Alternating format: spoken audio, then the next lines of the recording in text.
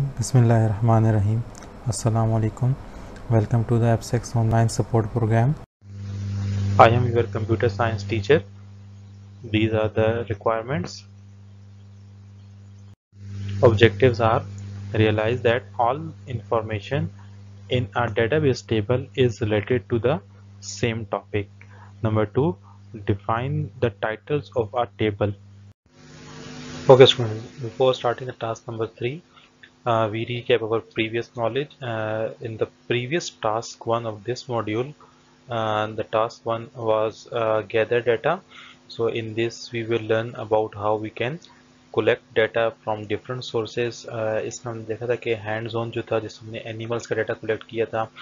और फिर हमने बाकी भी डाटा देखे थे कि किस तरीके से कलेक्ट हो सकते हैं एग्जांपल्स भी थी lot of there are a lot of resources through which we can collect that data then we discuss about uh, task number two introduction to database these two tasks we discuss uh, uh, in the start of second term so in the introduction to database we will see how uh, what is the database and what are the tables uh, what do you mean by record and uh, what is fields हमने इन चीज़ों के बारे में discuss किया था कि ये क्या चीज़ें होती हैं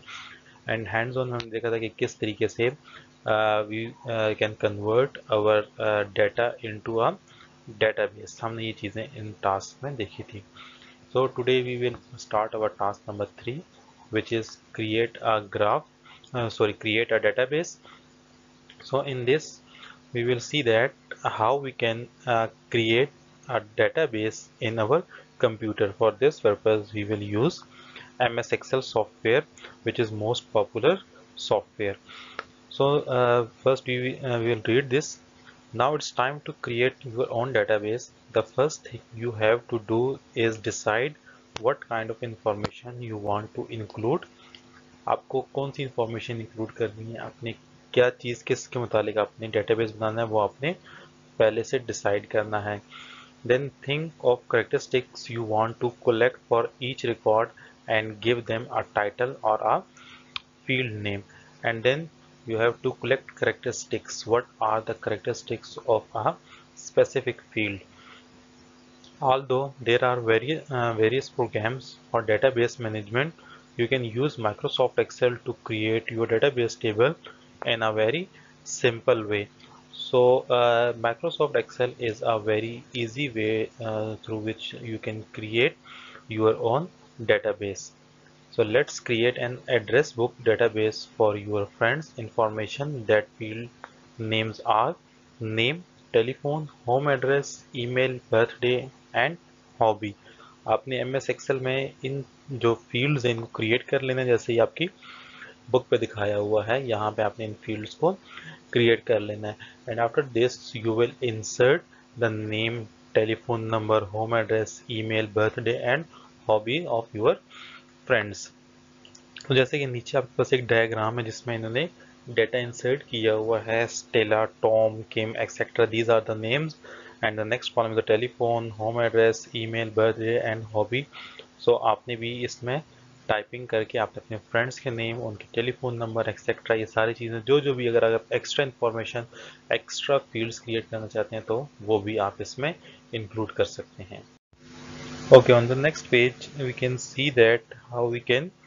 format our database table so our database table is now ready so first of all we select our database table then we go to the uh, format as table then we select uh, our favorite color जो सा भी आपका favorite है उनमें से कोई सा भी color आपने select कर लेना है and then you will click OK so आपका जो table जो simple पहले था सारा white color में था वो आपका नाउ डिफरेंट कलर में आपको रिप्रेजेंट हो जाएगा। इसका जो हेडर होगा हेडर मीन्स जहाँ पे नेम टेलीफोन होम एड्रेस लिखा हुआ है, इसका एक स्पेसिफिक कलर हो जाएगा। एंड द रिमेनिंग जो आपके पास रोज होंगी, एक का कलर लाइट ब्लू फिर white light blue and white इस तरह से आपके पास इसकी जो कलर फॉर्मेटिंग है, वो आपके पास डिस्प्ले हो जाएगी। So you can change your colour formatting यहाँ से इसका चेंज कर सकते हैं। फॉर्मेट एज अ टेबल में जो सभी आपको सूटेबल लगता है, आपको अच्छा लगता है, वो आपने सेलेक्ट कर लेना है। At the end of this page there is a smart tip smart tip says that all the information in a database must relate to the same topic you can not have irrelevant information in the same database for example you can not have information about sports in an animal database for example आपके पास अगर animal का database है जैसे हमने last task में हमने database create किए थे एनिमल्स के सो so, आपने फिर उसमें आप स्पोर्ट्स की या ह्यूमंस की कोई इंफॉर्मेशन उसमें इंसर्ट नहीं कर सकते because the database table is only related to animals so you can not include sports data और humans data etcetera okay on next page the in the picture there are only seven records. of students or of friends if you want to create a new record of a students so you simply start typing और M S access को recognise कर लेगा कि ये आपने आप एक new record enter कर रहे हैं सो so, यहाँ पे वो कह रहे हैं कि if you want to add one more friend letter you can simply start typing the new information on the first empty row under the data and Microsoft Excel will recognize it as a new record आपने simple typing start कर देनी है and database M S Excel को पता चल जाएगा कि आप एक न्यू रिकॉर्ड ये किसी स्टूडेंट का, या किसी फ्रेंड का आप ऐड कर रहे हैं। So on the last of this page there is hands on hands on says that remember the data of the animal that you collected try adding name on to Microsoft Excel and putting more information then try to collect data for more animals and add it to your database तो like जैसे कि हमने task number one में कोई data information collect किया था फिर task number two में डाटा बेस हमने कन्वर्ट किया था। सो टास्क नंबर थ्री की हैंड्स ऑन कह रहे हैं कि आपने उसको एम एस एक्सल में पुट करना है जो आपने टास्क नंबर टू में कलेक्ट किया हुआ था। और उसकी कुछ फील्ड्स आपने और फाइंड uh, करनी है फील्ड्स और उसमें इंसर्ट करनी है। एंड उसके अलावा जो आपने तकरीबन मेरे ख्याल आई थिंक फोर एनिमल्स थे तो आप उसको ज़्यादा कर दें इंक्रीज़ कर दें लाइक फाइव सेवन एट जितनी भी एनिमल्स आप मोर फाइंड कर सकते हैं आप उसमें एनिमल्स का डाटा उसमें इंसर्ट कर दें। सो so, इसमें आप इसको हैंड्स ऑन को ट्राई करें। सो एम एस एक्सल पे अगर कोई क्वेश्चन हो तो आप फिर उसको बाद में हम व्हाट्सएप पे डिस्कस करेंगे। Students this is the worksheet of this task so in this worksheet he says that select tick the table that would be database table आपने इसमें से देखना है कि ये डेटाबेस टेबल है या नहीं है। अगर नहीं है तो आपने क्रॉस लगाना है। अगर ये है तो आपने mark the tick so first table the first column is the name second column is the numbers third column is the hobby and fourth column is the contact number so अगर आप देखें, यहाँ पे फ़र्स्ट कॉलम में ही name के साथ red orange आ गया, जो कि नेम नहीं हो सकता।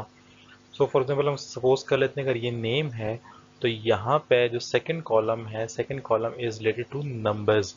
so there are only numbers exist in this column so यहाँ पे आपके पास सर्कल का वर्ड आ गया है which is not belong to this column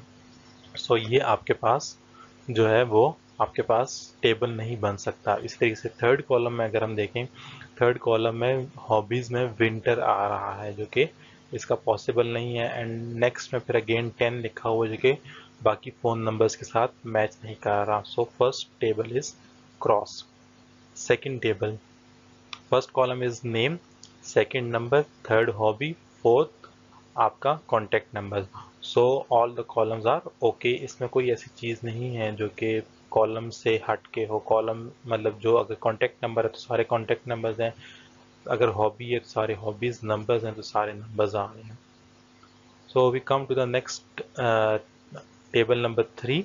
so table number three first is hobby painting sports writing reading okay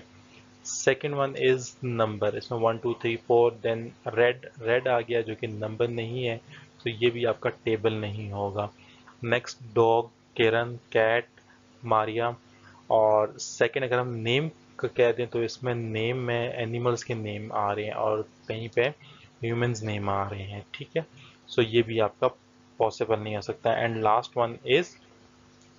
Lubna cat Hamna dog etcetera इधर भी same वही है कि आपके पास नेम आ रहे हैं जिनमें से मिक्स हैं कुछ एनिमल्स के नेम है और कुछ ह्यूमंस नेम है। सो so, ये टेबल भी आपका क्रॉस हो जाएगा।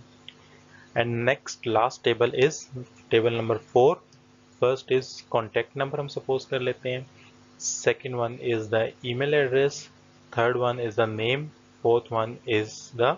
fourth column is the numbers जिसमें कोई से भी उसका रोल नंबर सपोज़ कर लेते हैं, अगर रोल नंबर है। And last column is hobby painting sports writing reading इसमें सबका जो है वो सेम ही डाटा है। कॉन्टेक्ट नंबर सबके सेम है। ईमेल अगर हम देखें, सबका ठीक लिखी हुई है email name is okay roll number या नंबर जिसे हम कह सकते हैं is okay and next hobby is okay यानी इसमें कोई ऐसी चीज़ नहीं है जो कि कॉलम के साथ मैच ना कर रही हो। सो so, इसको भी हम टिक कर देंगे। सो वहाँ पास यहाँ पे second table and fourth table these two tables are database table and first table and third table are not the data database table homework revise and practice the above explain text pages and if you have any question you can ask through WhatsApp. Thank you and Allah Hafiz.